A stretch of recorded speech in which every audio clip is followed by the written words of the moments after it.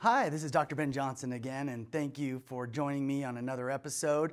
Uh, today we are talking about vellus hairs. So, vellus hairs are that peach fuzz hair that we all have on our face. It's part of your natural anatomy.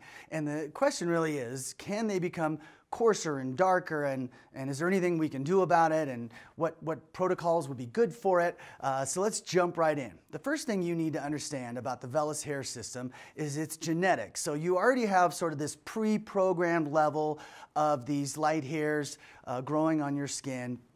And to that level, you're not going to adjust that. So if you're Persian or if you're an ethnicity that tends to have um, longer, darker, more obvious vellus hair, then obviously what I'm about to tell you has less impact.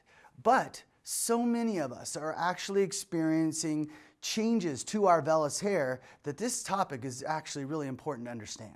So what's going on out there today is we are being exposed to something called xenoestrogens on a daily basis. And what these are are estrogenic toxins, meaning they are not estrogen being put into our system, but in fact a chemical that resembles estrogen enough that your system will stop making its own estrogen. So if you can imagine, you have estrogen, progesterone, and testosterone all in balance with your remarkable system that, that micro doses and follows your hormones very, very carefully. But then all of a sudden, with a huge onslaught of these estrogen chemicals in your system, your body will now make less estrogen. That, by default, makes progesterone and testosterone high, high compared to estrogen. This will lead to fertility issues. This leads to menstrual cycle irregularities. This can also lead to acne. But most importantly, in this conversation, it leads to coarser, darker hairs. So that soft, light blonde, vellus hair, that peach fuzz, progressively gets coarser, progressively gets darker, and gets more numerous.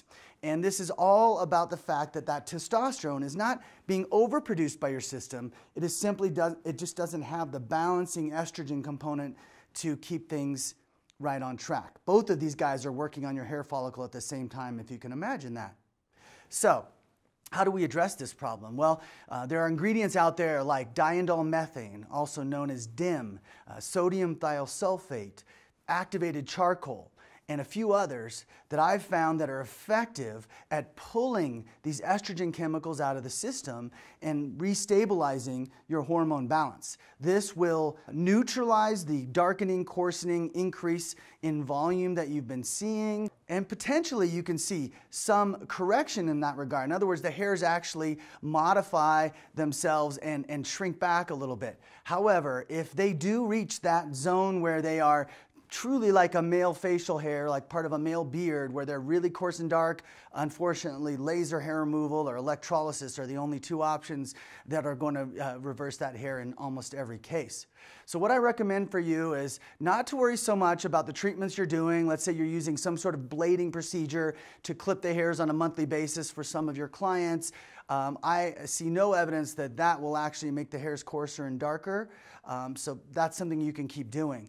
But if you don't immediately start addressing that estrogen lack, that imbalance that's created by these uh, hormone toxins, then those hairs will only get worse and darker and thicker, and then it gets to that point of no return. So I hope you heed this advice and help your patients with this really challenging problem. Thank you.